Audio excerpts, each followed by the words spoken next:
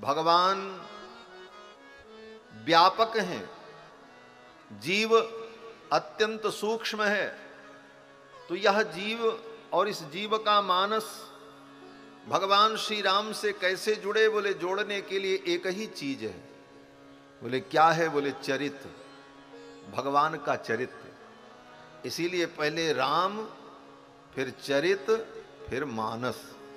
तो राम श्री भगवान है और मानस हमारा आपका मन, हमारा आपका मन राम से कैसे जुड़े? बोले, बीच में जोड़ने वाला कौन है? बोले चरित्र ये भगवान का चरित्र ही हमको, हमारे मन को भगवान से जोड़ता है। हम अपने मानस को भगवान से जोड़ें। इसका उपाय, इसका साधन यही है, भगवान का चरित्र। भगवान का चरित्र ही जीव के मन को भगवान से जोड़ता है।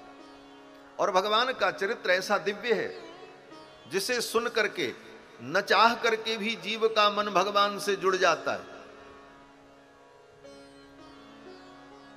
भगवान का चरित्र इतना दिव्य है किस चरित्र को अगर हम सुने तो हमारा मन भगवान से जुड़ जाए।